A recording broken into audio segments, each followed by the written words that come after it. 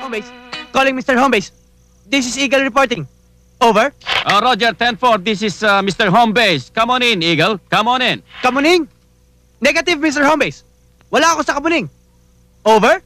Hindi. Ang sabi ko, come on in. Come on in. Sa Tagalog, pasok. Sa Bisaya, dayon. Roger, kasulukuyan pong may nagaganap dito na hold-upan. Malapit po dito sa... sa sementeryo. Over. Uh, Eagle, ilan ang nang-hold up? At nakikita mo sila mabuti? Over. Kitang-kita ko sila. Kitang-kita ko po sila, Mr. Homebase. Dalawa po sila. Dalawa po silang hold-upper. Over. Good, good, good. Okay, ngayon, ilan ang hino-hold up? Ilan ang hino-hold up? Isa po. Isa po ang binibiktima nila, Mr. Homebase. At ito nga po, kasulukuyan ko na pong inaabot po ang wallet ko po. Over. Bakit wallet mo ang binibigay mo sa kanila? Kasi Mr. Homebase, ako po ang binibiktima nila. Kaya magpadala na po kayo ng pulis. Baka kung ano gawin sa akin itong mga to, parang awa nyo na.